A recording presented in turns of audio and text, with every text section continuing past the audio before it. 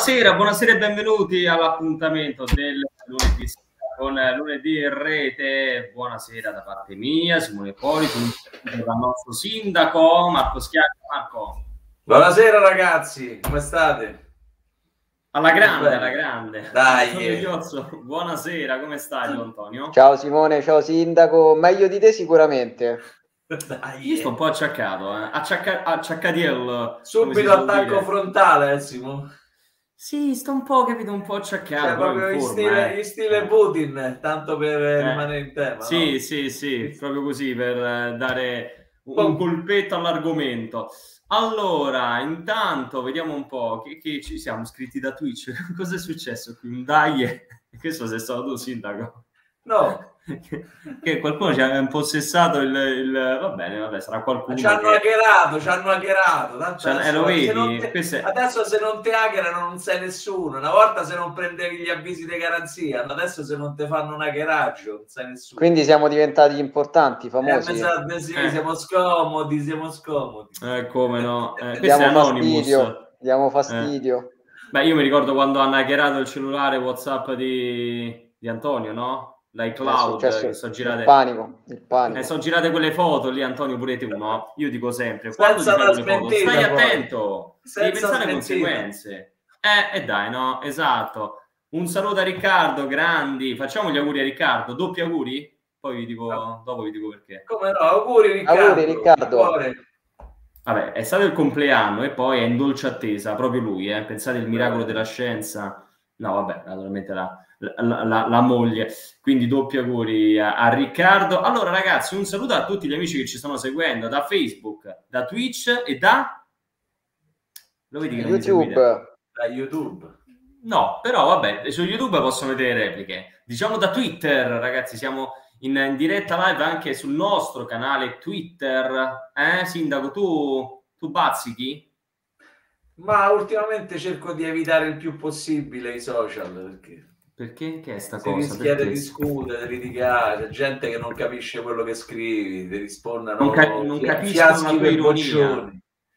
No, non capiscono eh proprio beh. un cazzo. Comunque, vabbè. No, ma... ecco, eh, no, però questo non l'accetto. Sono le 21.35, dalle 21.36 puoi fare e usare questi, queste, questi appellativi, queste queste argomentazioni anche Bisogna perché tu, pure risponde poi, perché se uno è educato poi deve pure rispondere capito? Non si può sì ma tu sei un attacco a brighe sul social io ti leggo io sì. seguo Beh, eh. eh. se no a che serve scusa eh pure te c'ha ragione Antonio tu lo segui il sindaco su Facebook? O no ma inizierò no ma te perdi inizierò a seguirlo inizierò a seguirlo perché credo che almeno con i popcorn lo seguirò da domani dai eh. come no allora ragazzi questo è quello che è accaduto eh, intanto in questa oh, giornata, è quello che sta accadendo. Quanto sta l'Atalanta? Quanto vince, Sindaco? Sempre 2-0 con i gol di Pasalic e Cup Miners.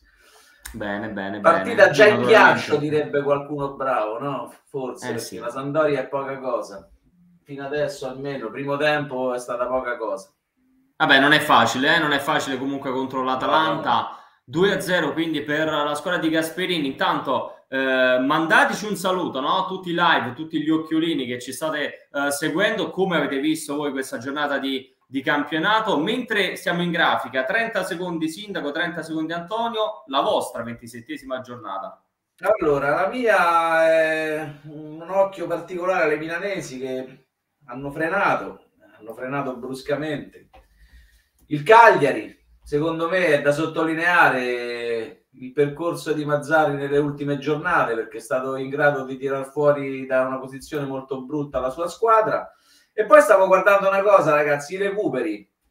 I recuperi secondo me sono qualcosa con cui dovremmo fare i conti eppure presto perché si rischia veramente di andare a falsare il campionato. Poi magari dopo li vediamo nel dettaglio quali sono le cinque gare che sono rimaste indietro, però secondo Ricordamelo, me... eh? Sì, c'è da buttarci un occhio perché è molto importante, poi capiremo il perché. Antonio, che dici? È stato il weekend anche delle vittorie all'ultimo secondo. Ehm, eh, il Napoli che spugna l'Olimpico, ehm, la Roma che vince in un finale infinito, direi. Quindi è stata una giornata anche diciamo emozionante in bilico eh, fino alla fine. Rallentano eh, le due milanesi, ma è un campionato in cui sembra che nessuno voglia scappare via, anzi si cerca di far rientrare quelle dietro. Qualcuno ha già parlato di Juventus eh, rientrata in corsa e allora se rientra la Juventus la, rientra anche l'Atalanta con questo risultato. Quindi si è abbassata molto eh, la media punti delle big. Eh, a inizio Beh. campionato c'erano squadre che correvano, adesso sembra che sia una gara a chi fa peggio in questo momento. Quindi vediamo cosa succede. È stata una giornata particolare, arrivata dopo anche un'altra settimana di Europa con, con tante, tante delusioni e quindi eh, fa piacere che almeno l'Atalanta sia andata, sia andata avanti. Eh, nonostante le difficoltà, lo ripetiamo, la forza delle idee e di un calcio propositivo, quindi complimenti all'Atalanta. Sì, però con meno entusiasmo, Antonio, eh, perché ti fai trasportare quando, quando parli dell'Atalanta di Gasperini tu. Senti, tu già l'avevi seccata l'Atalanta. Invece... L'avevamo seccata, l'avevamo seccata, si è ripresa, si sta riprendendo. Intanto 3 a 2 per la Samp, no, Sindaco, sempre 2 a 0 no, per l'Atalanta. Figurati. Allora, buonasera a tutti. Sono andati a vedere il tè caldo, Simone, il tè, il tè caldo. caldo. Eh beh, una tramontana. Un saluto a Carlo, eh, che, ciao che Carlo, ciao Claudio, ciao, ciao Riccardo. Marco, calma, calma, calma, calma. Saluto a Claudio, eh, piano, rispettiamo la messa in onda, no. vediamo un po'. Eh. Che dice qua? Speriamo di seccarla pure sabato prossimo. Ci scrive un nostro Beh, amico, sì. poi andiamo a vedere il calendario della prossima giornata. C'è l'infrasettimanale, vero? Eh? C'è la Coppa Italia adesso. C'è la Coppa Italia, no? Poi, eh, Juve Fiorentina, no, pure Antonio. Giocano insieme. Grandi ragazzi, pare. giornata di campionato strana, ci scrive Marco. Inter e Milan stanno cercando in tutti i modi di riaprire la lotta a scudetto e complimenti a Nicola che a Salerno ce la sta mettendo tutta per vendere cara la pelle per la permanenza naturalmente in Serie A e questo riprende un po' quello che hai detto, no Marco? Poi sì. abbiamo pure qualche meme se non vado errato perché comunque vabbè, hanno combinato un po' di tutto Inter e Milan. Andiamo a vedere, ecco, a questo punto torniamo in, uh, in, condivisione schermo, vediamo se ci riesco perché si è un attimo impallato qui il sistema. In, intrattieni il pubblico, Marco, intrattieni? Fai uno show? Vai. Peccato no, che non si può ballare. Antonio non mi fa una spalla, se no se facciamo un balletto di stile gemelle Kessler. E tu bello, hai Dollurio, chiaramente. Beh, vi... Beh, ragazzi, testa spalla, mica male. Eh? Io ho il piccolino che ballava su Don Lurio quando... qualche anno fa. Allora, vediamo un po'. Eh sì, allora condividi schermo il calendario della Serie A. Questo è quello che è accaduto, il pareggio del Milan con l'Udinese, eh, gol contestatissimo, quello del, dei Friulani, Inter 0-0, Salernitana Bologna un altro pareggio 1-1, vince la Juventus per 3-2 sul campo dell'Empoli, vince il Sassuolo per 2-1, altra partita rocambolesca, vince il Cagliari, pesante questa vittoria del Cagliari di Mazzari sul Toro, Verona 3, Venezia 1, ne parleremo, tripletta del Ciolito, vince la Roma 1-0 sullo Spezia e ne parleremo anche qui, perde la Lazio in casa e vince quindi il Napoli per 2-1 all'ultimo secondo con il gol di Ruiz e 2-0 in questo momento all'intervallo eh, con Miners e Pasalic le reti dell'Atalanta di Gasperini. Andiamo a vedere velocemente il quadro della classifica, eccolo qui ragazzi. Allora, Napoli e Milan prima a 57 punti, segue l'Inter con una partita in meno a quota 55. Ricordami poi di vedere i recuperi, Marco, eh, quando vuoi, perché sì. sennò mi dimentico. La Juve rientra parzialmente in corsa a quota 50, quindi eh, a meno 7 da Napoli e Milan, eh, l'Atalanta eh, a 47 con una partita in meno. Roma 44, sorpasso nuovo sulla Lazio che ferma a 43 e poi via via tutte le altre eh, sale il Verona, sale anche il Sassuolo, scivola leggermente il Toro e questa invece è la parte bassa della classifica con una boccata d'ossigeno per il Cagliari a quota 25, il Venezia che esce sconfitto eh, con il Verona a quota 22, Genoa 17, Salernitana 15. Questo è un po' il quadro della, Come della Serie A. pronostici? Non lo so, non ho avuto tempo di rivederli, non ho avuto tempo di fare sì. il montaggio, quindi... Eh? Stavo vedendo quella grafica adesso della classifica, no? Sì. Dove ci stanno quei pallini che identificano appunto l'andamento delle, delle ultime cinque giornate, no? È interessante notare che nelle ultime cinque giornate praticamente sono sei le squadre che non hanno perso, sono il Genova, anche se ha fatto cinque pareggi, mi pare, mm. il Cagliari, la Roma, la Juventus, il Milan e il Napoli, con alterni risultati chiaramente, no? Però questo, se andiamo a analizzare, manca questa lista l'Inter, manca la Fiorentina, manca la Lazio, manca l'Atalanta. È interessante per quello che dicevi prima, no? un appiattimento verso il basso, e quello che diceva Antonio pure, la media punti che è stata rimessa in discussione un po' per tutte le squadre. I valori si sono notevolmente appiattiti Mm, penso di poter dire dall'inizio del 2022. C'è stata sì. un'inversione di tendenza, solo due squadre da, da, quel momento in poi non hanno più perso, sono la, la Juve, mi sembra, e il Napoli. E poi se guardiamo il Napoli, anche il Cagliari, stavo vedendo, anche il Cagliari. Sì che vince, quindi Cagliari, Juventus e Napoli le migliori almeno di sì. queste cinque, c'è anche il Milan parzialmente, poi qualche X sull'Inter e sull'Atalanta, sulla Lazio, sulla Fiorentina. No, L'Inter ha perso due delle no, ultime eh. cinque, cioè l'Inter ha perso due delle ultime sì. cinque, ragazzi. L'Atalanta e poi guardando, guardando, la classifica, anche eh, non solo si è abbassata la media punti, ma poi eh, è proprio il campionato che ha un livello basso. Napoli e Milan già fuori dall'Europa, l'Inter con eh, mezzo piede fuori, quindi comunque le nostre tre big, le squadre che eh, probabilmente si giocheranno lo scudetto, salvo rimonte di Juventus, Atalanta e via dicendo, le tre big del nostro campionato sono praticamente tutte fuori dall'Europa, due già eh, in maniera certificata, l'Inter eh, ha bisogno di un miracolo per, per andare avanti. Sì, Quindi... e comunque sia il Milan, eh, Antonio, che è l'unica che si poteva giovare di questa settimana pulita, no? diciamo così. Ha sprecato, ha sprecato.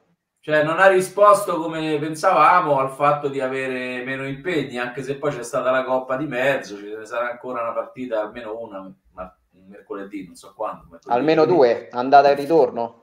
Allora, eh, per quanto riguarda le partite da recuperare, no, Simone? Sì, fammi dare però la buonasera, Marco, sì. se sei d'accordo, Come al no, nostro certo. primo ospite di serata, però ormai è un amico. È di casa, ormai è di casa.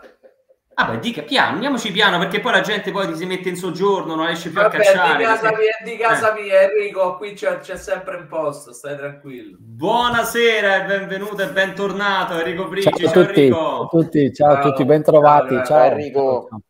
Ricordiamo, direttore di tutto elsverona.it, c'è un sorriso che qui devo allargare la cam di Enrico perché naturalmente eh, oh, è andata alla grande. Eh, beh, eh, devo dire proprio eh. di sì. Come faccio a non essere felice?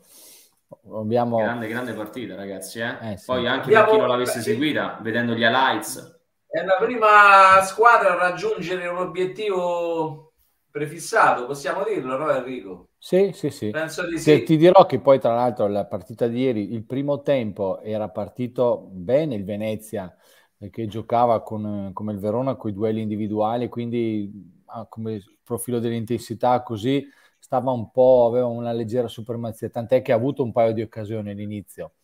Il Verona è rimasto un po', diciamo così, sulla, sul, sul, chi va là senza affondare, però nella ripresa ha, ha alzato il volume e, i cili del motore. Quindi, esatto, poi Simeone ha, ritrovato il gol e ne ha fatti tre, quindi poi la, la vittoria è limpida, vero? Cioè, alla fine della fiera, non, non, alla fine della partita ne, nulla può mettere in discussione una vittoria meritata. Ecco, Intanto questa è stata la mano di Udochi, eh, perché ah, prima sì. me l'hanno chiamata, mi hanno mandato un messaggio in privato con questa foto, Milano Udinese finisce 1-1, qui il VAR fa un po' una frittata ragazzi, 30 secondi su, su questo episodio, non so se avete visto, così coinvolgo anche eh, Enrico sì. e poi torniamo a parlare di Verona. È un ex giallo-blu Dogi, perché era da noi l'anno scorso è andato a Udine per poco più di 4 milioni di euro, quindi arrivava dalla primavera, e... ma forse io avrei aspettato a venderlo, però eh, hanno monetizzato eh, al primo, alla prima offerta, hanno deciso di monetizzare e, e pe- vedo che la scelta fatta dall'Udinese sta, sta dando i suoi frutti. Beh, il Milan prende un gol di mano, ragazzi, nel 2022 eh, col sì. VAR, cioè proprio come Cotrone, no? Se non sbaglio, contro la Lazio, Cutrone che vestiva la maglia del Milan, lì era ancora più intenzionale e clamoroso perché c'erano 75 inquadrature ma non quella valida, e però ieri alla fine il Milan pareggiò 1-1 con un errore clamoroso. Bisogna sempre, bisogna sempre considerare una cosa, che pure il VAR penso che va rimesso in discussione. No, non, c'è, non, c'è, una volta che abbiamo fatto questa trasmissione che, che non ci siamo dovuti soffermare su qualcosa di, di strano, no? Cioè, pare c'è un'uniformità di utilizzo sembra. telecamere no? Nelle, nei, nei, format più, più ricchi, nelle partite più importanti, specialmente dove giocano le grandi, arriviamo a 14 telecamere se non si riesce a vedere un qualcosa con 14 telecamere, ragazzi, stiamo messi male. Mi viene allora, un saluto a Marco. Eh? Ci siano, dei buchi proprio a livello regolamentari, perché se il bar fa vedere una cosa e poi una volta che viene interpretata in un modo, la volta dopo in un altro, forse non è proprio la tecnologia, ma sono gli uomini che stanno poi dietro, no? Che non riescono a mettersi d'accordo. D'altronde quando tu lasci spazio all'interpretazione, più spazio lasci, più poi corri il rischio di, di, di, certo. di scontentare qualcuno. Precisamente. Diciamo, si perde ogni tanto di vista l'oggettività, no? Che dovrebbe essere eh, il, il, punto fermo del VAR. Salutiamo possiamo, anche possiamo dire... il nostro amico. Aspetta, li salutiamo? No, se no li salutiamo. Marco. No, no, come no, poi Marco. Marco. Il, il, Napoli mi spaventa non poco. È ieri che vince al 95esimo eh, sulla Lazio. Poi velocemente perché noi parliamo, gli amici ci scrivono e noi non ce li filiamo, no, ce li filiamo giustamente, no Enrico? Se le milanesi continuano così la Juve rischia di tornare prepotentemente in corsa, mm. visto anche il Vlaovic attualmente in stato di grazia. Enrico, vince la Juve quest'anno? No, troppo. No, la Juve non, non credo, però non la darei per morta. Eh, perché comunque sia perché davanti non stanno c'è solo il Napoli adesso che sta correndo tanto che nelle ultime cinque partite è quello che ha fatto più punti e, però la, la, Juve non la darei per morta perché per conto mio è ancora lì. Il campionato è lungo, è vero, mi sembra che abbia sette punti di distacco. Eccoci qua, in questo male. momento è meno sette dal Napoli. Ecco, sette punti deve, sì, sì, deve recuperare. Sette punti non sono niente, basta uno sconto diretto, una sconfitta, e quindi cioè, con, con 11 partite da giocare e 33 punti in palio. Eh, non lo so, mm, non la darei per morta. Poi che, che riesca a vincere, eh, eh, magari è difficile, però adesso è presto per considerarla fuori dai giochi. Basta poco per rientrare quei tre punti del resto. Ah, Antonio, con chi deve giocare ancora la Juventus di quelle che c'ha davanti? La Juventus eh, eh ha fatto già le due col Napoli, le due col eh. Milan, deve giocare con l'Inter. Eccola qua, 3 aprile. Vedete lo schermo? Quindi... Sì, lo vedete. Sì, sì, sì, sì. Eh, delle tre davanti deve giocare con l'Inter ed è una gara che ha in casa. Che poi se guardate mm. storicamente tante volte gli scudetti si sono vinti e si sono persi nelle partite quelle eh, chiamiamole così più sulla, sulla, carta più facili o meno difficili difficilmente lo perdi in uno scontro diretto magari lo perdi perché, perché perdi punti con l'ultima in classifica? Guarda, o... Enrico, io mi ricordo la Roma l'anno dopo quella che con Lecce. scudetto. Eh. No, no, a parte quella con Lecce, quella con la beh, rimasta... Ah, con la no, Sampa. Prima ancora, l'anno dopo lo scudetto del 2001, la Roma praticamente nel girone di ritorno non riuscì a battere nessuna delle ultime sette. Eh. eh. Sì, tra cui Venezia, ricordi il Venezia 2 a 2 la partita, no? I due rigori Come no? Montella, con Collina, non riuscì ah, a battere là, i due rigori famosi da Venezia, sì, me li ricordo anch'io. Non riuscì a battere il Lecce, non riuscì a battere nessuna delle ultime sette e alla fine del campionato comunque sia, mi sembra che arriva a seconda a pochi punti dalla prima, che poi successe macello in quel fine campionato. Ragazzi, intanto do la, la buonasera e un bentornato anche a lui perché ci ha fatto compagnia qualche puntata fa, così facciamo un bel, un bel pentagono. No, vabbè, dire pentagono è un po' pericoloso in questo periodo, però ecco, cinque voci, cinque facce e quelle per quanto riguarda lo Spezia ce le racconta lui, bentornato, il nostro Guido Lorenzelli, calciospezia.it. Guido, come stai? Ciao Guido. Buonasera. Ciao Guido. Ciao Guido. Ciao, ciao. Eccoci qui, stavo parlando un po' di campionato tutto tondo, no? Perché poi commenteremo con Enrico della vittoria della tripletta di Simeone, di questa stagione che ormai ha preso, ha preso forma. Eh, per quanto riguarda il tuo punto di vista, Guido, invece poi arriviamo allo Spezia. campionato apertissimo, questo l'abbiamo detto. Un po' l'ago della bilancia e quello che ci può fare un po' divertire la Juventus che rientra nei giochi, lo possiamo dire, abbiamo visto la, la classifica. Qual è un po' il tuo, il tuo umore sul campionato, sul momento in generale? Guarda, io da gennaio seguo proprio anche la Juventus per un'altra testata e quindi ti posso dire che sicuramente con l'acquisto di Vlaovic la squadra pur giocando male perché non è che offra un calcio spettacolare, però pratico e poi Vlaovic ha una marcia in più perché con la doppietta di Empoli sale a 4 gol in 6 partite con la Juventus, che poi sarebbero 5 considerando che non gli è stato dato quel gol in Coppa Italia, ma è stata data un'autorete, comunque si è guadagnato diciamo anche quel passaggio del turno con la sua rete la Juventus e sicuramente è una squadra quadrata che non prende tantissimi gol, almeno ultimamente, nonostante abbia nove defezioni. E, e davanti ha trovato in questo ragazzo il terminale che effettivamente mancava perché Cristiano Ronaldo è stato venduto l'ultimo o il penultimo giorno di mercato e non era stato sostituito. Quindi sì, sicuramente è una Juventus che rispetto a quella delle prime giornate ora può dire la sua in una certa maniera. Poi vedendo come hanno rallentato le due milanesi, sicuramente qualche punto l'ha rosicchiato. Poi il Napoli ora sta uh, tenendo un, un, ottimo periodo, sta tenendo un ottimo ritmo, però la Juventus sulla carta ha anche un calendario abbastanza abbastanza semplice, se non altro con squadre che è vero lottano per la salvezza, ma sulla carta è favorita, solo uno scontro diretto con l'Inter e basta. E questo è un po' il meme che riassume eh, l'andamento avanti, no? Prima il Milan che pareggia e non vince nemmeno l'Inter. E l'abbiamo detto poi, ecco, eh, ragazzi, eh, pesa anche chi allena queste squadre, no Enrico? Tu che ne pensi? Perché Inzaghi è vero che ha vinto con la Lazio eh, delle coppe e ha raggiunto comunque traguardi importanti, però lo scudetto non l'ha mai vinto. Eh, lo stesso Pioli non l'ha mai vinto e poi ancora Spalletti non l'ha mai vinto, almeno in Italia. E lì dietro c'è Allegri, è un abituato. Eh sì, comunque lo, cioè, io credo sempre che allenatori che vincono con squadre scarse non ce ne siano mai stati. Mm. Comunque eh, l'allenatore poi deve fare il suo e tu lo vedi quando magari c'è qualche esonero dove a parità di organico chiaramente nulla cambia e l'allenatore che viene dopo eh, cambiano le carte in tavola. Adesso guardo in casa mia a Verona, eh, la squadra con Di Francesco non, arriva, non, non andava, è arrivato Tudor è cambiato completamente e gli uomini sono sempre gli stessi.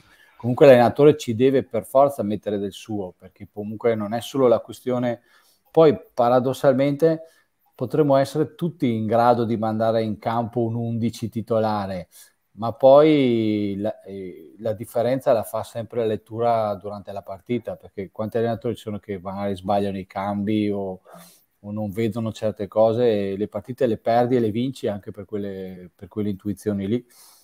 Ah, guarda, io dopo devi dare un'idea di gioco. Quindi...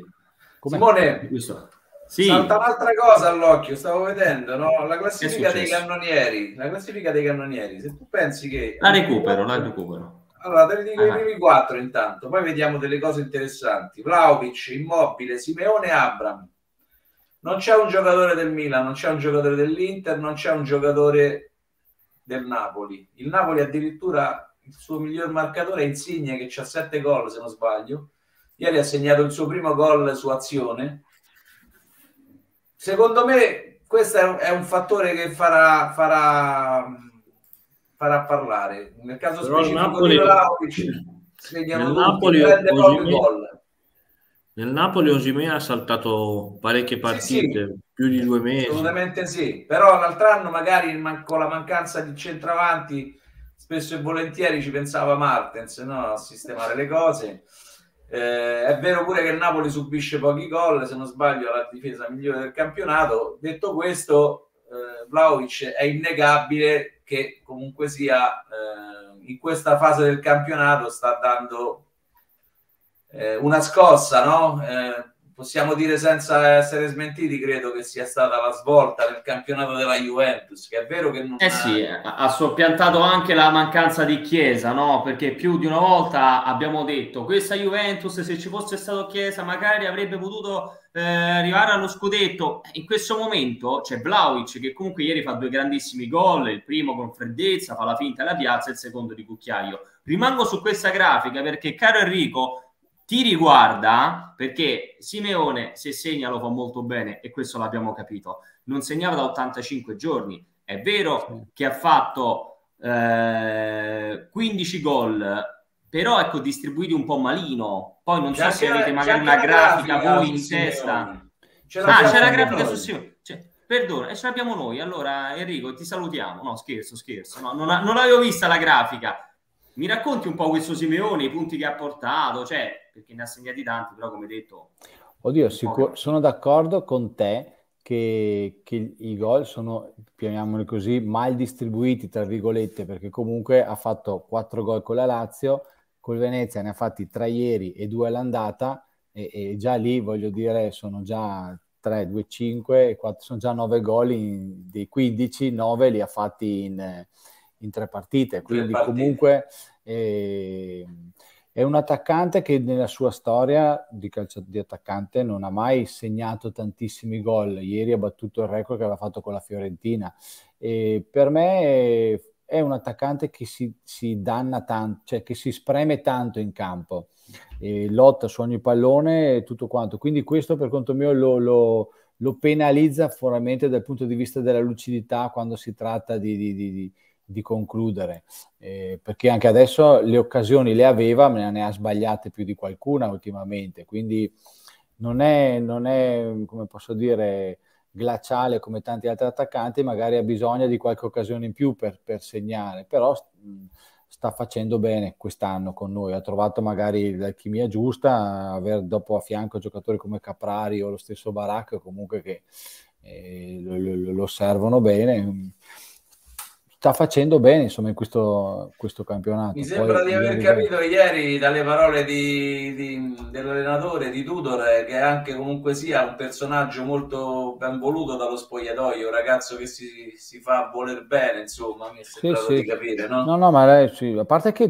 a Verona, eh, e questo per me è merito anche comunque di Tudor, si è creato un, bel, un, bel, un bello spirito di spogliatoio, una bella squadra, un bel gruppo squadra e lui, sai, poi ha trovato anche, ha trovato anche un, un feeling con il pubblico, perché per esempio io parlo per Verona che lo conosco meglio, il pubblico di Verona è un pubblico che mm, come magari ce ne sono anche tanti altri, va eh, al di là del risultato, cioè se vede un giocatore che in campo dà tutto, poi gli viene perdonato qualunque cosa, insomma, quindi Simeone è il chiaro esempio di uno che non si risparmia mai dal primo al novantesimo, quindi il fatto che lui non, po- non abbia segnato, nessuno ha mai messo in dubbio il, il legame con la tifoseria. Ecco, magari ci sono piazze dove magari non segni per 3-4 settimane e al minimo errore qualcuno ti fischia, quindi, e quindi poi per un attaccante non segni e ti manca, ti manca la linfa vitale. Infatti si vedeva che ultimamente lui soffriva talmente aveva talmente desiderio di far gol che questo stava diventando quasi controproducente perché ti porta a essere poco lucido perché vedi che non segni e quindi continui a provarci.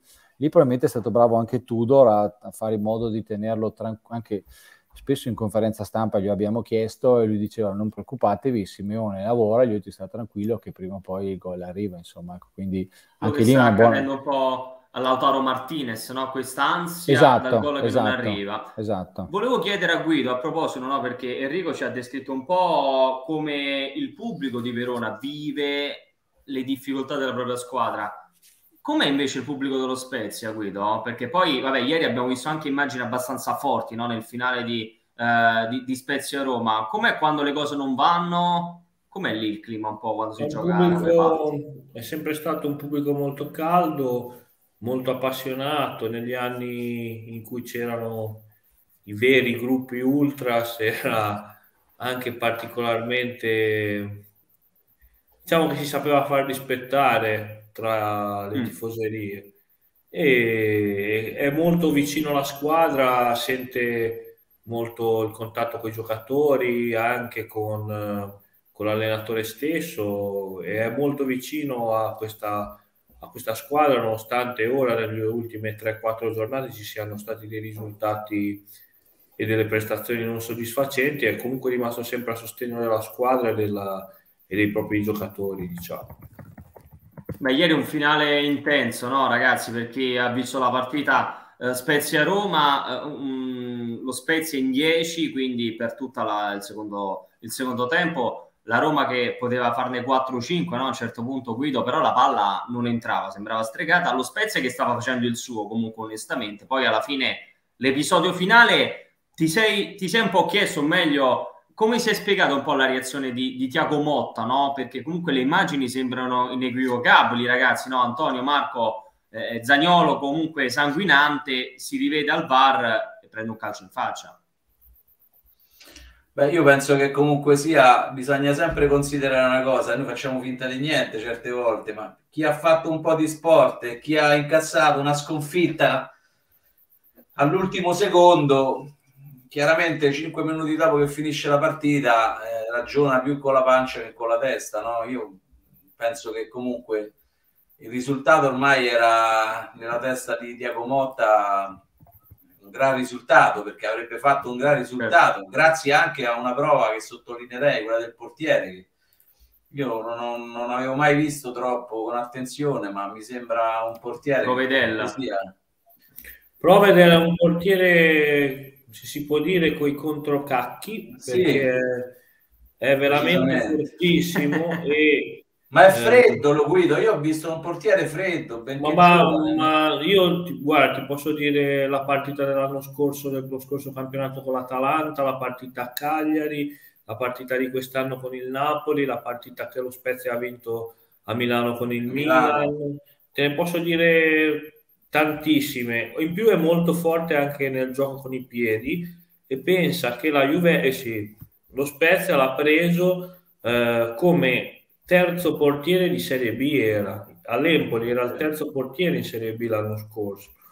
E lui è, mh, era stato anche mandato in prestito l'anno prima perché non giocava all'Empoli. E invece è veramente un portiere eccezionale e molto probabilmente meritava ma io ho visto che hanno chiamato un po' tutti nello stage in nazionale e, e direi che Provedel lo meritava più di altri che sono stati chiamati anche perché comunque è il portiere dello Spezia e quindi anche della squadra più giovane del campionato, di una squadra che subisce parecchio, ok, si mette in, si mette in mostra, ma del resto c'è, c'è, la Fiorentina su di lui. Ora lui è con il contratto di scadenza a giugno, ma c'è una clausola nel suo contratto che lo Spezia, se vuole, lo può, eh, può rinnovare in automatico per un'altra stagione. Lo vuole, sicuramente lo vuole la Fiorentina per l'anno prossimo. Io penso che negli stage contano molto i procuratori, Guido.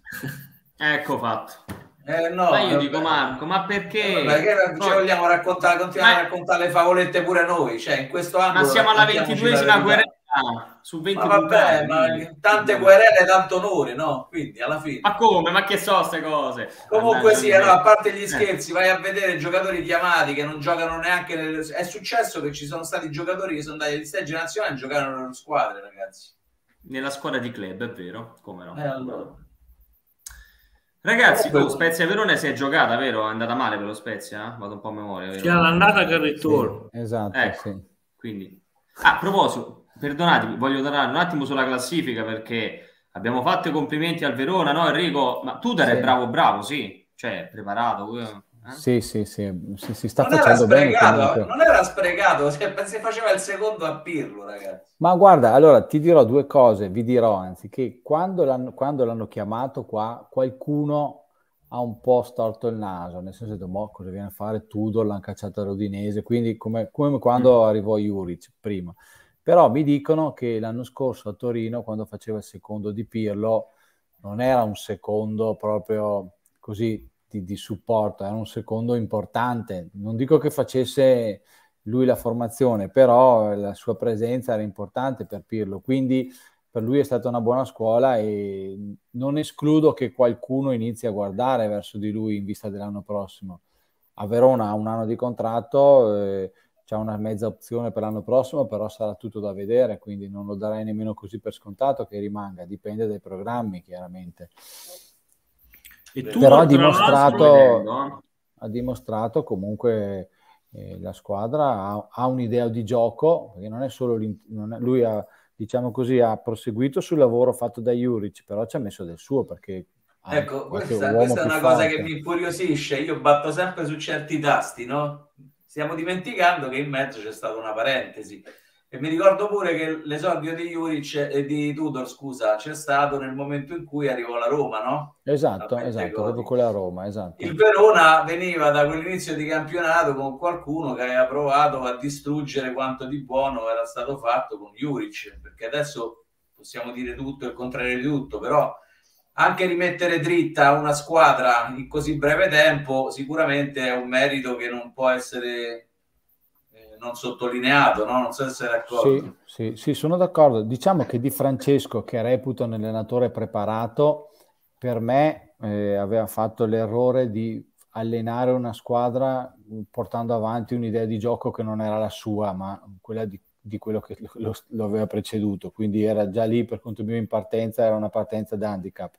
E, e Juric di fa- e Tudor, scusate, di fatto ha un po' ripreso in mano il lavoro di Juric, però certo con due cose. Primo ci ha messo del suo e poi dalla sua aveva anche, ha anche dei giocatori di qualità eh, qualcosina superiore, almeno per quello che riguarda i tre davanti, quindi che, che Juric non aveva un attaccante come, come Simeone e Barak quest'anno non stava andando come l'anno, cioè l'anno scorso non andava come quest'anno.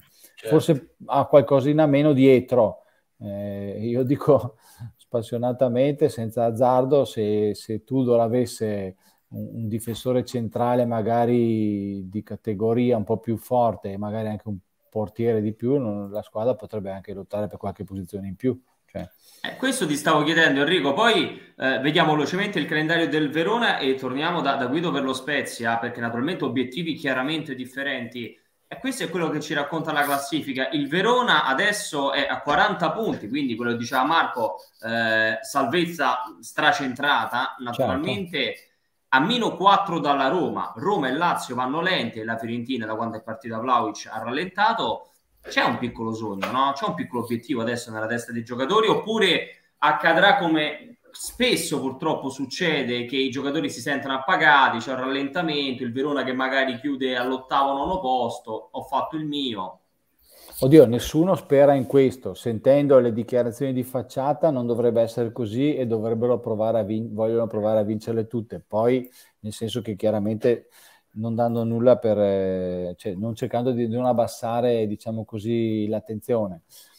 Poi però, sai, eh, sul discorso una qualificazione in Europa uno può, ten- può anche tentare di raggiungerla, però dopo la prospettiva cambia, cioè l'anno prossimo metti che raggiungi l'Europa dovresti cambiare completamente il ragionamento, che vorrebbe dire tenere il più possibile quelli di quest'anno e, e, e rinforzare ancora di più, perché per tenere due competizioni devi avere quasi due, ro- due rose di pari livello, perché in tempi, in anni addietro, eh, chi, ha, chi ha affrontato la competizione europea con organici diciamo così, non adeguati a sostenerla, ha rischiato di compromettere il campionato. Il Sassuolo, Quindi si torna, si torna, sempre allo spaccato dell'allenatore del, pa- del pallone, eh, perdere e perderemo, no? Quando c'era il, il colloquio stretto con Oronzo Canà, eh, e quindi è quello che stai dicendo in sostanza, no? Comunque non premere troppo sull'acceleratore, però ecco, un tifoso che deve pensare, chiedo, coinvolgo un po' tutti, no? Perché il tuo discorso non fa una piega, caro Enrico, giustamente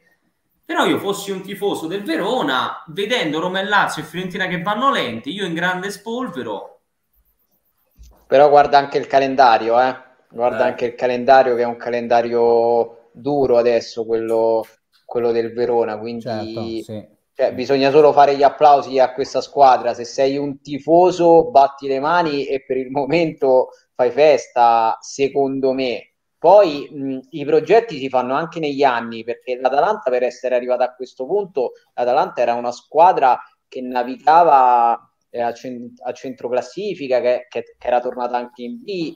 I progetti eh, si fanno col tempo, eh, Sassuolo e Atalanta sono le due realtà migliori, eh, si può augurare al Verona di creare una continuità, ma il tifoso non può sognare alla prima stagione eh, positiva, d'accordo. secondo me. Questa no, no. può essere la base e poi l'estate dirà se può dare il via a un progetto più importante. Antonio, mi trovi perfettamente vero... d'accordo. Sì, sì. No, ma assolutamente, quello è vero, eh? però come si suol dire, siamo in ballo, balliamo, no Marco? Io a volte ho questa sensazione, tu che ne pensi? No, no, io sono d'accordo, e mi metto anche dalla parte dei giocatori, cioè mi viene da pensare che nella condizione in cui sta adesso il Verona, quindi di massima sicurezza, io mi divertirei. Divertirsi vuol dire nel calcio, vuol dire vincere, nello sport vuol dire vincere. C'hai la, il vantaggio di giocare di poter fare il guastafeste, il guastafeste sia con squadre di, di coda, ma sarà ancora più divertente farlo con squadre di vertice, perché mi pare di aver visto che ci sarà ancora l'Inter ancora sul cammino del, del Verona, il Napoli. Quindi eh, io penso che sia la condizione migliore anche per, per, valorizzare dei giocatori, per metterli in vetrina, visto che comunque sia squadre tipo il Verona, così come lo faceva prima l'Atalanta, adesso un po' meno sono squadre che puntano anche eh, sempre nel, nel, confezionare dei giocatori no? da mettere poi sul mercato per ampliare le squadre. Mi viene in mente, per esempio, Enrico, che sarà difficile, penso, trattenere Barak dopo la stagione che ha fatto, no? Mi sembra eh, di capire sì, che ci sono già sì, voci. Sì, sì, Quindi magari eh. il sacrificio di Barak potrà servire, così come non è stato quello con, eh, di Zaccagni, magari per, per ampliare una rosa anche a livello sì, numerico. No? È vero, anche perché quest'anno è vero che è andato via Zaccagni, però voglio, sembrava tra virgolette insostituibile. insostituibile, poi è arrivato Caprari che per me invece ha fatto ancora meglio. Eh, però sai, devo dire che è vero che gli altri anni, una volta raggiunto la salvezza, c'è stato, chiamiamolo così, chiamiamolo calo, però ve lo dico tra virgolette, però per me non, sotto, non sottovaluterei il fatto che eravamo in, purtroppo in quel periodo maledetto di, di Covid con gli stadi chiusi e poca gente. Quindi anche chi va in campo e gioca con uno stadio vuoto hai raggiunto il tuo obiettivo, eh, non dico che è una scusante, però eh, ti può portare anche a, ad, ad certo. abbassare l'attenzione. Io credo, e posso dirlo quasi certamente, che conoscendo qua a Verona, con, con, con lo stadio pieno e così, io sono convinto che, che, che la squadra lotterà fino all'ultima partita e dopo tireremo le somme e vedremo cosa si farà l'anno prossimo. Però non credo, eh, credo che non ci sarà nessun calo, anzi la squadra in questo momento paradossalmente gioca anche a mente libera, nel senso che, eh, non so, fra due settimane viene il Napoli qui eh, se il Napoli vince eh, non succede niente, però eh, sono certo. sicuro che non, se, se, la dovrà sudare a venire qua a portare via i punti. Io dico, sei in ballo, caro Enrico. Sì, sì, balliamo. Sì, sì, balliamo. Eh, sì, sì, sì. Simone, questa cosa, del, questa cosa del Covid eh, mi faceva fare la riflessione, no? Eh, posso, è successo pure il contrario. Faccio un esempio molto, secondo me, molto calzante. Calabria. Mm. Nel periodo Covid con lo stadio vuoto era diventato veramente Roberto Carlos Ah beh, è certo, ricominciato certo, a sì, tornare sì. la gente allo stadio, mi sa che gioca manco più. Ha fatto due o tre prestazioni drammatiche. È, è, vero, è vero, per il giocatore drammatiche, è, è, è sparito. Non so se si è fatto male, non lo so, facile pure che sto facendo una figuraccia, sarà magari con ginocchio a pezzi, non lo so. No, però è vero, era, era tornato Calabria, ecco, cioè noi che io mi ricordo seguiamo che... sempre il Milan, però no, è arrivato il messaggio. Mi ricordo una partita Calabria. contro la Roma di Calabria, era, fu una cosa eh sì. devastante, segnò addirittura, cosa che penso abbia fatto 5, 4-5 volte nella sua carriera, no? però evidentemente ci sono dei giocatori e penso che a Verona sta cosa sia amplificata anche al contrario, no Enrico? Perché il pubblico ha la sua importanza no? nel trasmettere alla squadra un certo tipo di atmosfera. Spesso e volentieri sì. io sono trovato a Verona mm, con il Verona, no? con il Chievo magari, anche numericamente erano un po', un po' pochini, ma non erano così, così caldi in cui la squadra, il pubblico ha girato il risultato. Io mi ricordo un Verona-Roma 3-2, tu te lo ricorderai? Forse, penso di sì, sicuramente. Io me lo ricordo perché Pruzzo fece un gol, penso il più bello della carriera. No, la Roma sì. vinceva 2-1 e perse 3-2, ma perse, perse per, il, per me perse per il pubblico, perché si creò un clima, fu una partita abbastanza ricca di episodi, all'epoca non c'era VAR, c'erano arbitri che fischiavano, decidevano loro quello insomma, abbastanza problematica a livello proprio di, di, di direzione arbitrale. Mi ricordo uno stadio era una bolgia. E poi sì, poi sai cos'è? Io ormai vado, seguo il Verona da tantissimi anni e a Verona la tifoseria sostiene la squadra dal primo all'ultimo minuto, indipendentemente dal contesto. Poi se a fine della partita hanno meritato o non hanno meritato al periodo che non va, al limite la contestazione se c'era e sempre, se doveva essere è sempre stata fatta post partita. Ma durante la partita ho vissuto anche anni anche quell'anno con Pecchia voglio dire dove, dove siamo retrocessi eravamo retrocessi già con anticipo. Però allo stadio durante la partita non contestava praticamente nessuno. La tifoseria sostiene sempre la squadra. Poi alla fine eh, quindi questo è comunque un, è un punto a favore e devo dire che tanti, non lo dico io, ma tanti giocatori hanno, hanno sempre messo in luce la spinta che dà il pubblico del Bentegodi, come lo danno tanti altri pubblici, vero? Questo sì, sì. Non ci mancherebbe sempre. No, sto pensando sempre allo Spezia, no? per, per, per, coinvolgere anche Guido, eh, quello, ieri abbiamo visto un gran finale no? tra, tra Spezia e Roma. Ti volevo chiedere, Guido, c'è qualche giocatore dello Spezia al quale tremano un po' le gambe? perché ecco, riprendendo l'esempio che ha fatto il nostro sindaco su Calabria, no? Certo, San Siro è San Siro. C'è qualche giocatore dello Spezia che invece risente un po'? Perché il, il pubblico è lì, eh? Cioè, praticamente allarghi il braccio, tocchi il primo in prima fila. Eh? No, non penso. penso sono, tutti, sono tutti indiavolati lì. No, non, non, è un problema dei giocatori dello Spezia. Non è quello il problema dei giocatori dello Spezia. Ne hanno tanti altri, ma quello sicuramente non lo hanno.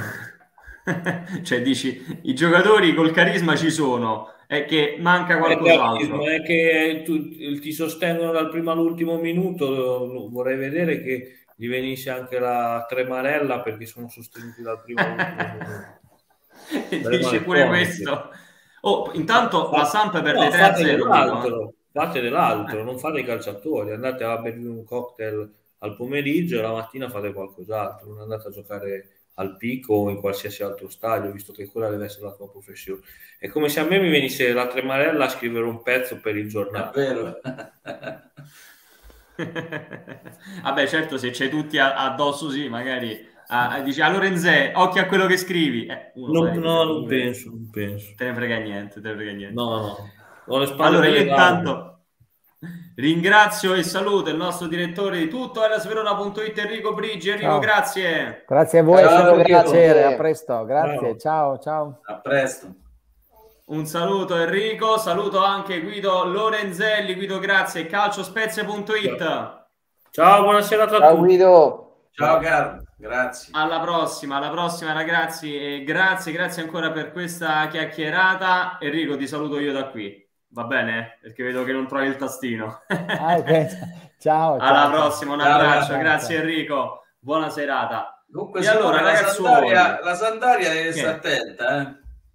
Eh, me l'hai detto pure la scorsa settimana, pure il Bologna. No, perché comincia a essere una brutta aria. Considera che adesso guardavo la classifica, tanto posso switchare e qui mi vedete uguale. No, la Sandaria ha gli stessi punti dello Spezia, un punto in più del Cagliari, gli stessi punti dell'Udinese che però ha due partite in meno, eh, amici miei, Eccola. l'aria non è bella, eh. E occhio perché queste squadre poi non hanno l'abitudine a, alla tornare, eh. Cioè qui paradossalmente, tanto per tornare ai recuperi, no? Se la Salernitana ecco. dovesse in qualche modo fare risultato, allora la Salernitana deve giocare con Udinese e col Venezia. Quindi due scontri essere, diretti in sostanza. Potrebbero vai. essere, diciamo, sei punti come potrebbero essere zero. No, ma noi stiamo giocando qui. Con sei punti la Salernitana salirebbe a 21, giusto? 21 punti. Eccoli qui, sì. Cioè, veramente posso, questo campionato io non ricordo un campionato dove ancora no, dalla sensazione dalla sensazione succedere tutto Marco, ancora, tutto. ecco, almeno tu Antonio che dici? Io ho la sensazione che eh, è vero, sono coinvolti in sostanza dal Bologna in giù, anche perché il Torino ha altra caratura, l'Empoli però gioca molto bene, però dà la sensazione che due magari sono condannate, la terza potrebbe essere la sorpresa. Guarda che il Genova Sì, potrebbe esserci la, la sorpresa, anche se poi alla lunga i valori solitamente emergono, nel senso, Ecco. avevamo detto il Cagliari eh, non deve stare laggiù e si è risollevato subito. Eh, in avanti è vero che stanno facendo a gara chi perde di più, ma virtualmente ancora l'Inter che avevamo indicato come la più forte, vincendo nel recupero, sarebbe eh, prima da sola. Quindi è vero che ehm, numericamente è ancora tutto apertissimo però io queste super sorprese non, non me le immagino. No, magari uno scivolone dell'Udinese, le cose strane, Simone. capito? Che magari... eh. Il Genova ha vinto una partita. Sono 22 partite che non vince. Cioè ha vinto la quinta. Ma veramente... Cioè, do- sì. Ragazzi, ci potevamo andare pure noi, cioè con sta media veramente, guarda, No, prendevi ti sto 7-8 che giocavano un po'. Anche numericamente, statisticamente, no? alla fine del campionato una squadra 4-5 partite Mamma vince. No? Se consideri che ne mancano 10, far 5 vittorie dopo che ne hai fatta una e ancora stai attaccando, perché di solito la, la squadra che vince una partita dopo 27 è spacciata. Sì, esatto. Così come era spacciata la Roma per la corsa, addirittura l'Euro, neanche dico la Champions, perché continuo a, a pensare che se la, se la Roma e la Lazio non, non acquistano un po' di continuità, è inutile pure fare i calcoli, perché poi dopo vai, vai a infrociare, no? Ti ricordi io ti avevo detto Roma deve vincere 6 partite su Sei 6 prima di arrivare all'Atalanta. Sì, Alla sì, fine sì. ne ha vinte, ne ha pareggiate 3 con le peggiori, se vai a vedere, anche se poi dopo i risultati del Genova, che ferma anche l'Inter, il risultato col Verona, che abbiamo, ne stiamo parlando da mezz'ora, Cioè, e, e quindi hai rivalutato anche quei, anche quei col Sassuolo. Tra l'altro, tanto un po'- Roma, tu- tutti in rimonta, no? I tuoi numeri, no? Giallo-rossi, Sì. così diamo spazio anche alle tue slide, Marco. 98,03 minuti il timing del rigore calciato da Temi Abraham nella gara contro lo Spezia per quello che è il gol più tardivo della storia della Roma in Serie A. Bella, questa mi piace. 90. No, quella prima invece è molto interessante, Eccola qua. quella su Mancini, perché Mancini è un giocatore che ieri abbiamo sentito anche dalla bocca di Tiago Pinto, praticamente, che viene preso un po' come a modello di quello che dovranno essere. Allora io spero di no, Bocca al lupo. mi mi sono andato a rivedere tutti i cartellini di Mancini, ma al di là del fatto che certi, sai, e poi arrivo a Zaniolo, perché il dato curioso io non ce l'ho messo qua è su Zaniolo, che dopo di Mancini viene Zaniolo come numero di per ammonizioni. ruolo, diciamo, Allora, non dovrebbe avere questa classifica. Precisamente, io ho ritrovato il primo attaccante dopo Zaniolo, mi pare che sta nel- al trentesimo posto nella classifica degli ammoniti, no? Tanto per tornare sempre sui soliti discorsi. Cioè, ieri questo è dovuto andare in giro col sangue in faccia per dimostrare che aveva preso una zappata. Eh, Cioè, sentiti un allenatore mi devono chiedere scusa di che?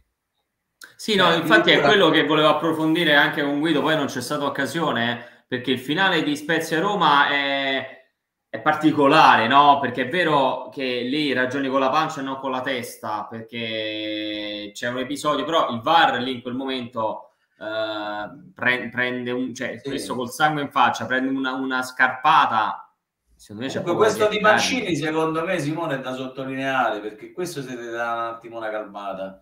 Spesso e volentieri sono falli, io mi so- ripeto, me li sono andati a rivedere tutti per curiosità, sull'uomo praticamente che va incontro nella propria metà campo.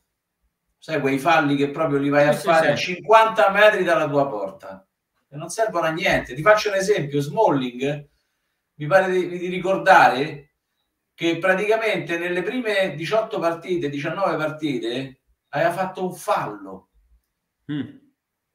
Stiamo parlando del centrale difensivo di una squadra. Non credo che abbia più di due ammonizioni, Smalling, tre ammonizioni. Ti piace Antonio? Ti piace Mancini come giocatore o è troppo sopravvalutato? Te la faccio proprio diretta. Allora, Mancini secondo me ha un ottimo potenziale. Sicuramente deve rimare dei difetti, e questo dei gialli è uno dei difetti. Eh, poi ovviamente eh, ribadisco un concetto che avevo detto qualche settimana fa, eh, spesso ci dimentichiamo che questo è comunque un gioco di squadra e che a volte eh, i difensori vanno in difficoltà quando non c'è filtro a centrocampo e la Roma è una delle squadre che soffre maggiormente soffre le, tra- le, transizioni eh, offensive degli avversari e spesso si ritrova con praterie. Un difensore Scoperta. nelle praterie eh, va in difficoltà e spesso è costretto a spendere il fallo e a prendersi il giallo. Adesso il sindaco ha sottolineato come molti gialli siano stati presi in maniera ingenua eh, a 50 metri dalla porta con l'attaccante isolato spalle alla porta e quello è, è qualcosa su cui lavorare però ti posso dire che in questa stagione difendere in una squadra come la Roma non è, non è semplicissimo certo. è, ci sta, ci ed, è, ed è uno dei motivi per cui io ho criticato maggiormente Mourinho sul lavoro effettuato perché questa rosa sicuramente ha dei limiti ma io da, dalla Roma mi aspettavo decisamente di più comunque ieri, ieri Antonio guardavo delle cose no? cioè ieri penso che sia stata emblematica la partita di ieri permettimi di dire pure un po' per, per ribattere al tuo discorso su Mourinho. Ieri ci sono stati dei momenti in cui tu dici ma com'è possibile che un giocatore che gioca in Serie A, che comunque non è un campionato proprio scarso quello italiano, no? Allora, al primo minuto c'è un contropiede della Roma, vanno in quattro dentro l'area, palla pulitissima, Karsdorp non è riuscito a farla arrivare praticamente al primo dei suoi compagni che gli stava a 7 metri. La Roma ieri è arrivata almeno 5 volte col pallone a 30 centimetri dalla riga. Sì, sì, no, ma ieri... Si, si continua a tirare di piatto. Non si tira sì, in porta sì, di piatto. Cioè, ti faccio un esempio. Il ragazzino della primavera che ha segnato contro il Verona, no? ha capito subito no? come doveva tirare in porta l'altra partita. Tirare quella palla che usciva. Il primo palo, a sorpresa. Tirato, no, in quell'altro, colpato in mezzo a ah, 10.000 okay, gambe, boh, spari una botta. Io vedo Pellegrini che continua a tirare di piatto. Tentano i tiri a giro da 5 metri dalla porta. Cioè un tiro a giro, se tu non sei Maradona contro il Napoli, la palla non ti prende mai un giro. Vabbè, obiettivamente, obiettivamente, Marco, sembrava la classica partita stregata, no? Sì, eh, però perché veramente obiettivamente era successo di tutto. Simone, no, quello indubbiamente, però il palo clamoroso eh, adesso un incrocio clamoroso a un certo punto adesso non, non, non mi ricordo cioè sì, il tiro di Pellegrini però, però pure lì vai a, vedere, no? vai a vedere sì, sì, sì, sì, giocatore che ha il potenziale abbiamo parlato mille volte. Ci vuole la cattiveria per tirare in porta. Io mi ricordo giocatori guarda ti faccio un esempio che mi, mi rimane un po' scomodo fanno. Ma vi eh, ricordate signori ma signori come tiravano in porta eh, Raga, io, io, io, andai a vedere un Sandoria Lazio. Non so se ti ricordi, Simone. Signori, Lazio Sampo o Sandoria Lazio? Sandoria Lazio tirò una punizione, okay. prese la traversa e gli riandò il pallone no. sui piedi e ha scoppiato la porta. Sì, sì, sì, vabbè, ragazzi. E così era, era, così era Recoba. Giocatori che quando tirano porta ti fanno male, specialmente se non hai il piede fatato, che non, tanti giocatori non hanno. Io adesso vedo giocatori che non sanno calciare il pallone, siamo d'accordo su questo? Mi dite, no, un, mi, dite, mi dite, un, giocatore che sa mettere una palla di prima, un cross Malinowski. Malinowski. No. Malinowski sì, dell'Atalanta sì, a proposito di bordare quanti, no? quanti te ne vengono in mente? una volta le squadre avevano tutti un giocatore che sapeva mettere mi viene in mente Donatoni mi viene in mente Gladesala mi viene in mente Causa mi viene in mente Pas- Pasquale Pasquale pensa che te sto a dire i terzini una volta sapevano mettere i palloni dentro guarda un bel terzino che mette il pallone dentro è Biraghi della Fiorentina ma te dico Pancaro yeah. ma ti dico Favalli sì sì sì no, ma guarda non voglio arrivare a Cafu adesso, no? No, no, su questo mi trovo d'accordo. Gio- giocatori che sanno anche andare sul fondo e metterla bene non è semplice. Ad esempio, la Lazio ha Lazzari, che è un ottimo giocatore, però ha questo limite. E ce ne sono differenti. Lo stesso Karsdorp, che a me non dispiace, però non ha questa qualità. No, prima sì, si è, giocava molto, no? larghi, larghi sulle fasce e i giocatori erano preparati a questo. Adesso non è scontato che i giocatori sappiano Ma non mettere si può guardare un giocatore che deve guardare il pallone per dargli un calcio, ragazzi. Senti, io voglio fare una marchetta intanto per Beppe Signori, già che, che l'hai citato, vediamo un po'. Esce domani, eh, se non sbaglio, dal primo marzo ha scritto un libro, Beppe Gol, fuori gioco perde solo chi si arrende. Naturalmente racconta un po' la sua storia, no? i suoi anni il bui. periodo, il periodo, sì. Eccolo qua. Va bene, questo l'hai, l'hai citato casualmente. A proposito di, Dobbiamo- di signori, lo Dobbiamo sì, cercare, signori. lo cerchiamo, lo lo cerchiamo. io. Numeri me lo della Lazio. io. Va bene. Due le sconfitte interne della Lazio in campionato nelle ultime 26 gare disputate nel parziale 19 vittorie e 5 pareggi. L'ultima era stata lo 0-2 contro la Juventus dello scorso novembre, mentre 42 gol subiti dalla Lazio in questo campionato. La difesa di Sari è la settima del torneo, insieme a Bologna, Udinese e Samp. 5 in Samp. più le reti subite rispetto alla 27esima giornata dello scorso campionato, mentre i gol segnati sono 12 in più. Eh, quinto che vuol dire? Quinto Eh no, avanti. sono 50 è, è saltato un... eh, 50. però- Ah, sono sì. aspetta, sono Allora, ho spinto la 12 in funzione... più. Perfetto, Bravissimo. 54, 54, quelle sappiamo fare le, le sotto- addizioni. so- no, perché sotto alla se, se- se spingi il, tas- il tasto shift sotto a quel pallino c'è il 4, quindi ho spinto quello. Ci sta, ci sta, ci sta, ci sta. No, infatti perché Comunque la- sono tanti. Simone, sono tanti i gol subiti dalla Lazio e spesso come quelli di ieri, specialmente, specialmente il primo, spesso e volentieri sono frutto di, di questo maledetto gioco dal basso che si vuole per forza, per pretrare quando non hai giocatori adatti a fare quel, quel tipo di... Tanto per ritornare ai limiti degli allenatori, no? Cioè se uno non capisce che non può fare con No, Patrick esatto. certe cose, possiamo No, stare qui a sono- parlare per mesi. Sono Però la Lazio strada ha una difesa in questo momento imbarazzante, No, ma proprio a difficile. livello individuale, cioè non Sì. c'entra neanche più la filosofia di gioco, la costruzione No. dal basso. Qui ci sono dei limiti tecnici che sono imbarazzanti. La Lazio gioca co- con degli elementi che francamente non starebbero in panchina nella Salernitana, ragazzi. Cioè, vedere Patrick No, è- è un, è un, colpo, è un colpo al cuore, al sindaco. cuore. E si No, può dire ma- che la Lazio non meritava di perdere contro il Napoli, si può dire che, che comunque ha fatto, secondo me, un'ottima partita. Poi paghi degli errori individuali Sì, si macroscopici. ripercuotono- Si ripercuotono sulla sicurezza degli altri giocatori, perché io presumo, no? Così come succede con i portieri quando non hanno da, qua- con, per i difensori quando non hanno alle spalle portieri che ti danno la sicurezza. No? Mi metto nei panni di Luis Alberto, per esempio, e di Milinkovic Savic, che sanno che se dovessero disgraziatamente sbagliare una palla, gli tocca farsi 30-40 metri a correre dietro un avversario perché eh, lasceresti eh, a quei quattro dietro le sorti di una squadra che ti posso dire per certi versi troppo fanno Antonio perché eh, come dici tu eh, certi sono addirittura è difficile trovargli una collocazione in tante squadre ma è pure vero che magari Inzaghi per Ragazzi, è, esempio, è orribile, è orribile. La Riuscì, in però- è orribile, dai. però Inzaghi, eh, Simone, riusciva a organizzare la squadra in maniera tale, per tornare al discorso che faceva pure Antonio prima in relazione alla Roma, no? La Roma c'ha i problemi perché il filtro non esiste. Con 5 a centrocampo Inzaghi comunque, con gente tipo Lulic che correva dietro anche alla mamma, tu bene o male riuscivi a, a- a trovare equilibrio. Davanti c'avevi sempre un giocatore che comunque sia i suoi gol li faceva e arrivavi, e, a- arrivavi a...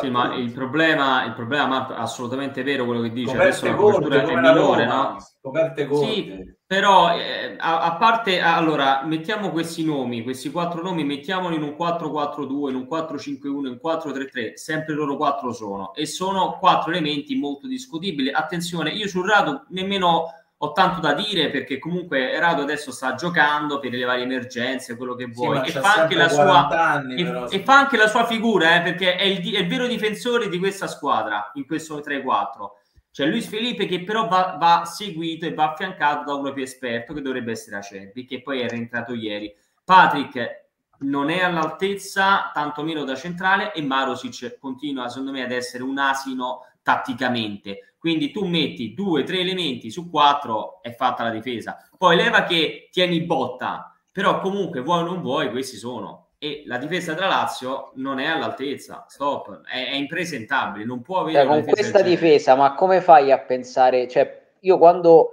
dico che secondo me sta facendo anche un mezzo miracolo la Lazio, ma con questa difesa perché poi qual è la frase standard che si dice in Italia? I campionati si vincono con le difese, quindi certo. per ottenere grandi risultati devi avere grandi difese. Con questa difesa, ma come si fa a, a pensare di poter eh, lottare contro squadre come Juventus, Inter, Milan, Napoli, ci metto anche l'Atalanta, cioè la Lazio sta sotto queste squadre, per me con questa difesa sì, sta sì, facendo sì. un miracolo. Mm. Sì, sì, sì, no, ma ci sta, ci sta. Allora, ragazzi, a proposito di Napoli, così rimaniamo sul Lazio-Napoli, 18 punti conquistati dalla scuola di Spalletti in campionato nelle 8 gare giocate dall'inizio dell'anno 2022, nessuno ne ha conquistati tanti tra le altre squadre del torneo in questo periodo. Quindi il Napoli che ha pagato prima la flessione sta recuperando adesso e va a coincidere con il momento no, dell'Inter. Due punti conquistati dalla squadra di Inzaghi nelle ultime quattro gare di campionato in questo parziale due pareggi e due sconfitte era da febbraio 2018 che i nerazzurri non trovavano il successo per più partite consecutive in Serie A, in quel caso 8. E questa è la fotografia che riapre il campionato, in sostanza. La squadra più forte. Sono due partite che non segna, se non sbaglio, l'Inter. Cominciano ad essere segnali abbastanza preoccupanti. È pure vero che la partita dell'Inter è stata un po' la fotocopia della partita della Roma, no Simone? Perché ci sono state delle occasioni Vero. pazzesche. Lautaro Martinez non riesce più a prendere la porta neanche da 20, da 20 centimetri. È, è quello che so. dicevamo prima, ragazzi. È purtroppo il morbo dell'attaccante è così. E stanno mancando i punti all'Inter anche per quello, eh, perché magari Lautaro ne mette dentro tre e porta, che ne so, quattro punti in più e non stiamo parlando di, di questo. Eh, volevo vedere un attimo il calendario dell'Inter, eh? vediamo un po' come Eccolo qui.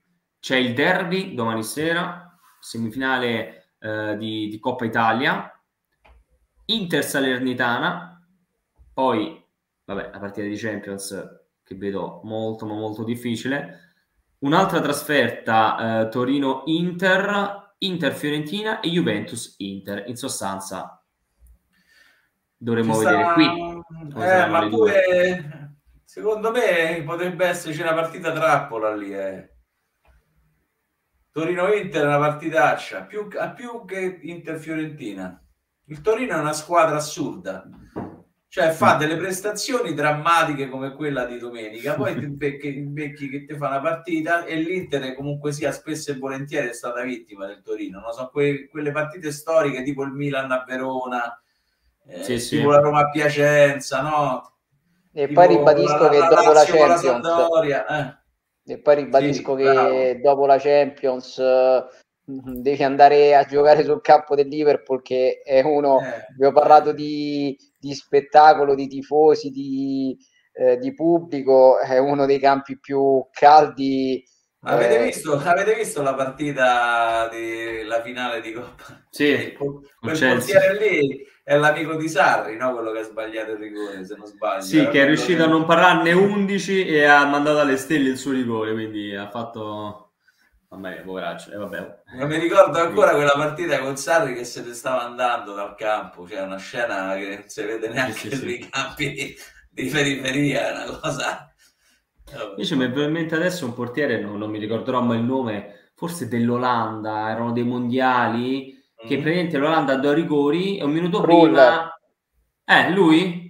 Krull, quello che è entrato solo per parare... Ha parato quattro rigori, cose clamorose. Sì, sì, Così sì, come 2014 forse. Il logo Abreu, che io ho avuto il piacere di conoscere personalmente, un personaggio ragazzi, veramente se si potesse sì, mettere eh? uno di quello potresti fare dieci anni di trasmissione. Quando entrò praticamente dalla panchina non giocava da 5-6 partite con, eh, con, il povero eh, Tabarez che non lo faceva giocare neanche se non aveva il centravanti di ruolo entrò e fece il cucchiaio praticamente sul rigore decisivo. Non so se vi ricordate quella partita de, del Mi ricordo l'evento, naturalmente. Stiamo Intanto hai... pazzo praticamente. Hai cercato Anto? Era portiere sì, sì, Krull, Krull. Sì, ma me, le, me, lo ricordavo, poi hanno fatto anche la parodia con ehm, il Giappone di Olli e Benji, non so. Ah, sì. Ah, come no? È vero.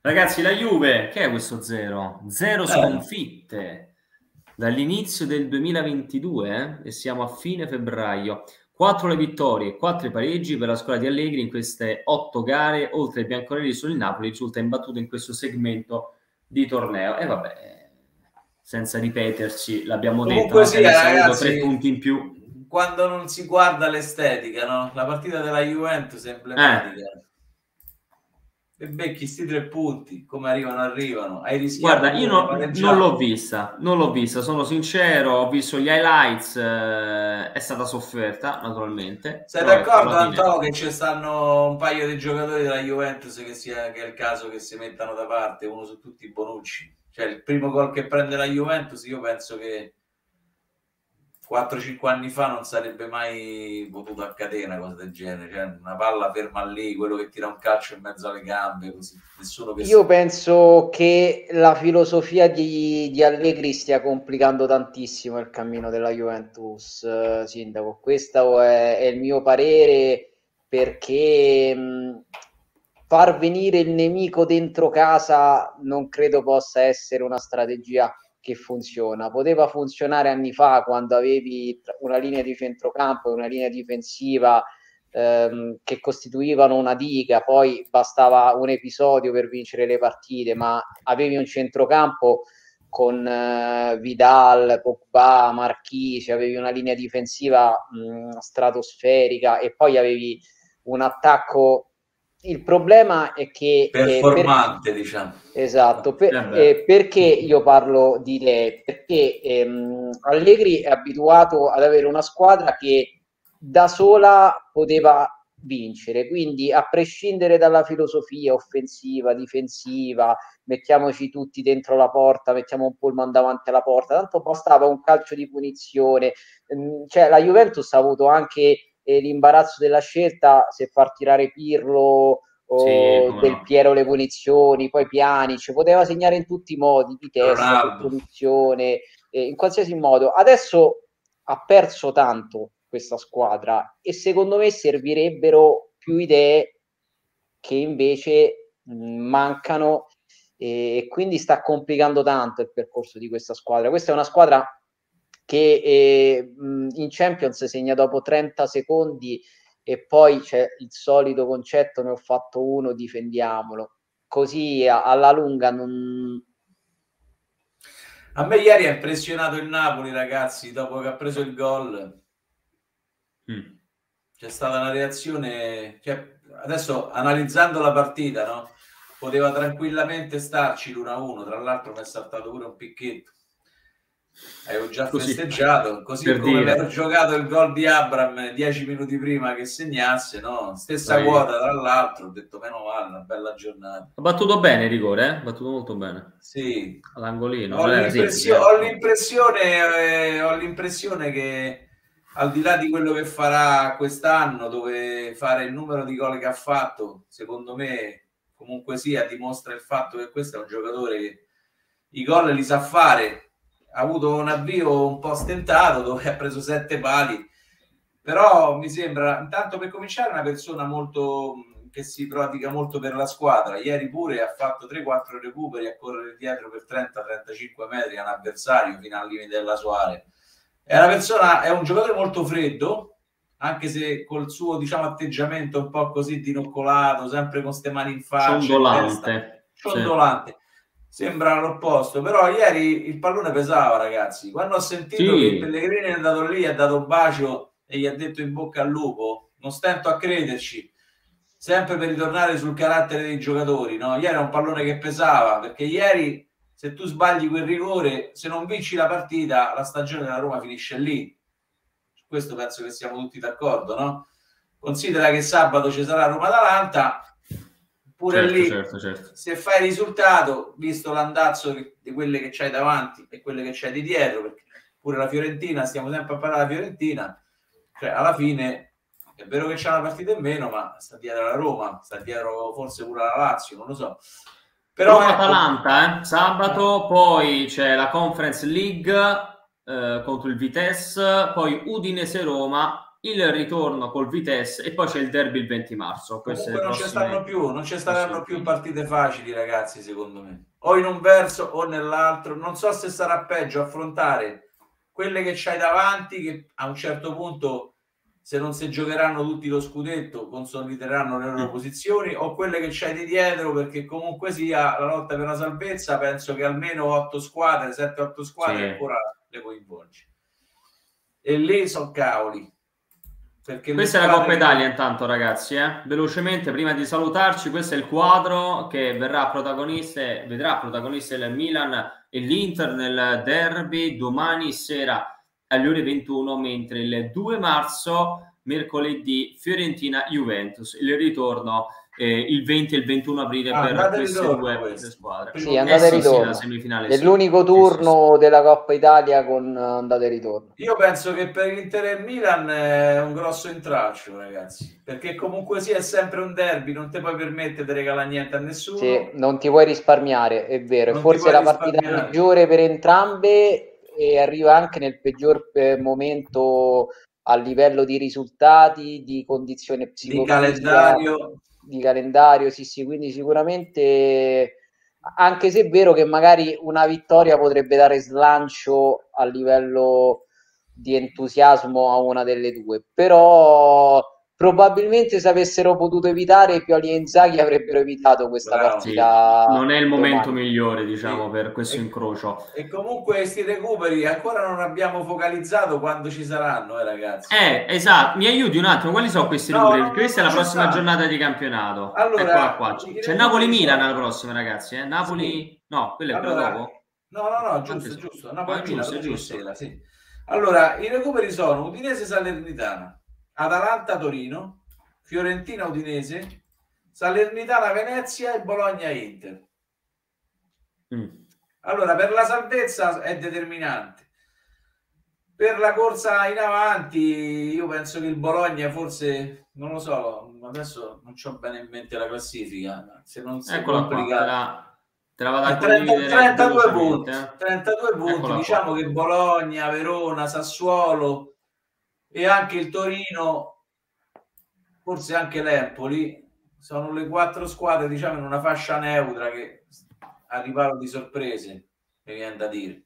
Così come è difficile per la Juventus correre in avanti perché c'ha tre avversari, mi viene da pensare che è difficile farsi superare nel caso dell'Empoli da Mettiamola così, Marco, se sei d'accordo. Chi rischia di annoiarsi sono la Fiorentina, il Verona, no, il Fiorentina no, e il Torino. No, Fiorentina Beh, ancora deve recuperare una partita, ragazzi. Quindi. Sì, sì, però forse alla lunga ha perso Lauvic davanti comunque alle Romane, all'Atalanta che corre. Verona, so, Sassuolo, comunque... Torino e Bologna. Mm. Beh, Bologna la settimana scorsa mi hai detto occhio al Bologna, però, eh, che poteva scivolare. Eh, lo so, però poi però alla fine sta lì, ecco qui non ha subito grossi... Vabbè, al momento quelle fuori, secondo me, sono Sassuolo e Torino. Se c'è qualcuno mm-hmm. che rischia di annoiarsi sì, veramente, sì, abbiamo sì. parlato di campionato aperto sopra e sotto. Quindi io per Perché ora il Verona, il Verona se la gioca per me. Il Verona si diverte. Allora, al momento mettiamo solo queste due squadre senza veri obiettivi, Sassuolo e Torino. Poi ogni settimana magari questo gruppo si si amplierà, però al momento queste due formazioni sono un po' fuori da tutto perché Guarda. sono tranquille eh, se guardano sotto e non possono ambire troppo se guardano sopra. Ragazzi, immaginatevi in questo momento, la forza un pochino, una serie a 16 squadre eh. con quattro retrocessioni, così un minuto per scherzare un pochino. Eh. In questo momento in Serie B Spezia, Samp, Udinese ed Empoli, ok? l'Udine e l'Empoli a 31, quindi a questo punto l'Empoli tira giù anche il Sassuolo perché sta più 5, certo, no? cioè certo. il Sassuolo si deve guardare dalla retrocessione. Certo. Dall'altra parte il Verona è a 40, quindi si trova a meno 4 dall'Europa, quindi tutte Vero. sarebbero coinvolte in qualcosa, tutte. Guarda, mi ricordo, praticamente, mi ricordo un campionato con, eh, credo, Mazzone in panchina della Roma, che praticamente a, a, questo punto del campionato la Roma dovette andare a vincere una partita a Foggia con gol di Giannini. Era praticamente a 10 partite del, dalla fine del campionato rischiava di andare in Serie B e arrivò a quinta se non mi sbaglio. E lo vedi?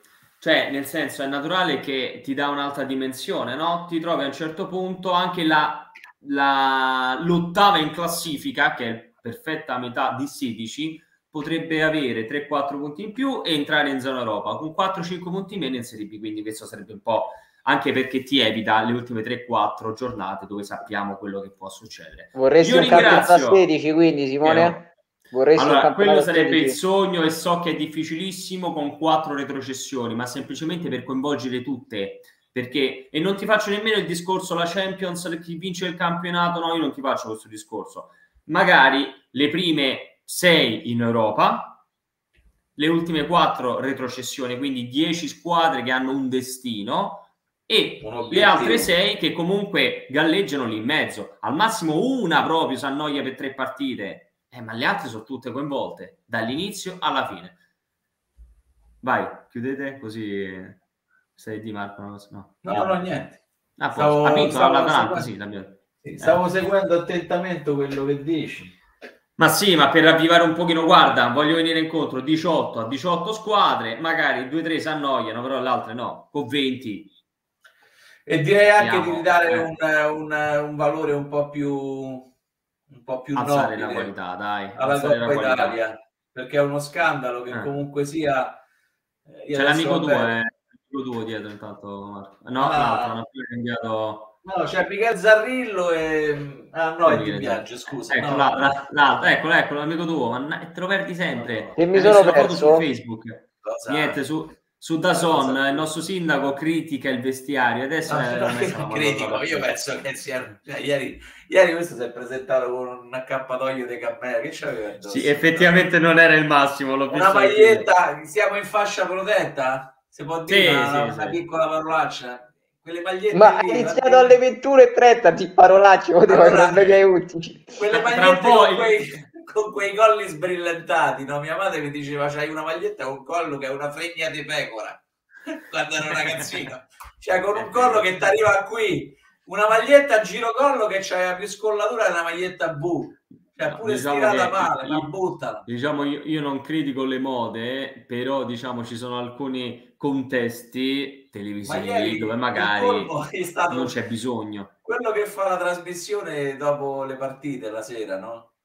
Che ci ha avuto il coraggio di dire a Spalletti la vedo turbata. Cioè lui sembrava che l'avessero preso a pizza da cinque giorni, con la barba così lunga, tutto scapigliato vestito come uno scappato di casa, cioè io penso che poi tu una certa volta mi ha detto, eh, ma Ugolini è stato preso a parolacce da Juric, cioè uno che ti dice sì. una cosa del genere, dopo una partita dove ho visto Spalletti trasecolà, cioè era, era Turbino, non ho mai visto così. Tutti gli anni che è stato a Roma l'avrò visto una volta in quelle condizioni, ma io dico, ma Spalletti ha capito il momento, ha capito il momento la grande gran occasione. Paraculo, Spalletti. Sì, sta arrivando, dai, sta arrivando, è vero, si è un po'... Io guarda, ti dico la verità, ci siamo espressi spesso e volentieri. Io sarei veramente contento se Spalletti riuscisse a vincere il campionato, perché secondo me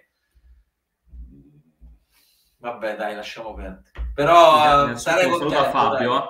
Ciao Fabio. Vabbè, no, Ah, guarda, io ti dico, eh, tra, io levo Spalletti, levo l'allenatore, tra Milan, Inter e Juventus, io ti dico, oh, ma magari lo vince il Napoli, ma semplicemente per vedere sull'albo d'oro di questo campionato, perché se io vado a vedere gli ultimi 25 anni, a parte Roma e Lazio, eh, si sono alternate la Juventus, il Milan e l'Inter. Stop, eh? Non c'è altro, eh?